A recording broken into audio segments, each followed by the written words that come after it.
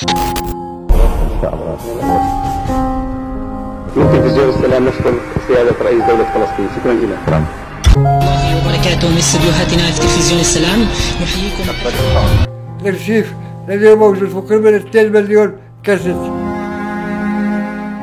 تحياتي لكم مشاهدينا الكرام. في خطوة غير مأمونة العواقب قرر الحاج عيسى الأشكر إنشاء أول وسيلة إعلامية تبث في فلسطين وكانت الوسيلة الإعلامية المحلية تلفزيون السلام. هذا الاسم الذي أطلقه الراحل ياسر عرفات على هذا التلفزيون في عام 1991 ليحرس أهالي المدينة من انتهاكات الاحتلال اليومية وكان اللسان الذي ينطق باحتياجاتهم.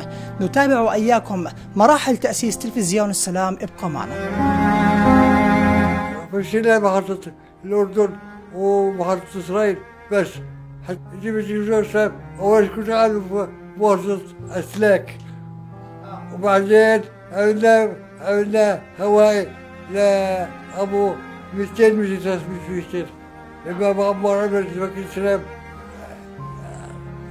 أطلقت تلفزيون السلام على كل محافظات الكرم وكركيلي و والهجري تقريبا. إذا ما أردت نفض الغبار عن هذه الأشرطة ستتمكن من فتح ملفات توثق مراحل ميلاد الدولة الناشئة من غزة جنوبا حتى تلكرم شمالا. في الوقت الذي شكل فيه تلفزيون السلام مضافة للإعلاميين في تسعينيات القرن المنصرم. وإحنا استكملنا في أريحة فكنا كل يوم نروح على أريحة. عندهم نستقبلهم لما يجوا استكملنا حكام ملعاوي. واستكملنا مروان مغمورثي ومروان مغمورثي إذا عندي هون الله يفك يا رب. حطيناها كلها بكاسيتات موجودة عندنا اليوم الكاسيتات لم ينجو تلفزيون السلام من مضايقات الاحتلال في سنواته الثلاث الأولى فأغلق مرارا وتكرارا وذلك لغياب الاتفاقيات الرامية لامتلاك وعمل وسائل إعلام تحمل الهوية الفلسطينية. وانتهاكات الاحتلال المستمرة. شو كنا كنا برعب برعب كبير. وصوب ابني محمد في المواجهات. عدة مرات عدة مرات وكان الله يرحمه. رئيس المالية حلمي حنون كان يوقف معنا.